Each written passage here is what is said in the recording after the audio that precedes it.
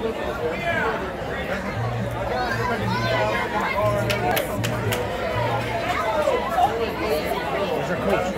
her belt. Alyssa, your belt. Your belt. You gotta move people out of the way the way.